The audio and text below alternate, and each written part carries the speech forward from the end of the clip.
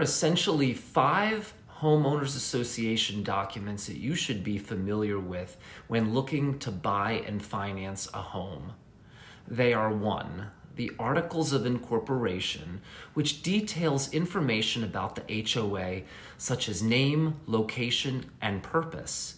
Two, the bylaws, which set out the technical rules and procedures for voting, election of directors, and term limits.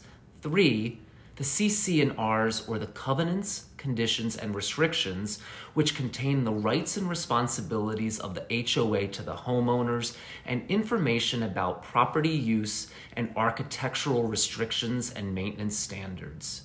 Four, rules and regulations, which detail how the CC&Rs are interpreted and implemented.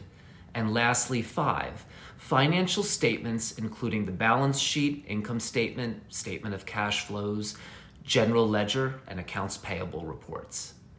I'm Stewart Brown, a licensed mortgage loan originator in Palm Springs, California, here to simplify topics in real estate and mortgage lending. Please like, share, follow, and subscribe.